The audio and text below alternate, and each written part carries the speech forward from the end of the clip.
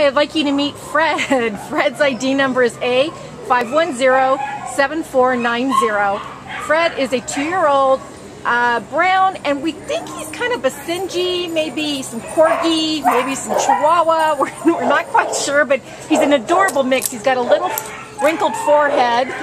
He came from Walnut, the city of Walnut, and he weighs 14 pounds. Uh, this guy is just the cutest little thing. He's only two years old, so he's still, as you can see, got quite a bit of pep in him. Joni, what else do you want to say about the little guy? well, he'll be very active. I mean, he likes to, to run already. He shows some signs of being housebroken.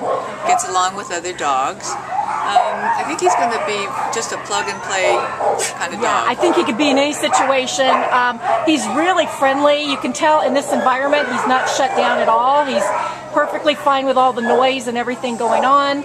So this will be a great family dog or a dog for any individual. So um, come down and meet Fred at the Baldwin Park Shelter. His ID number is A510-7490.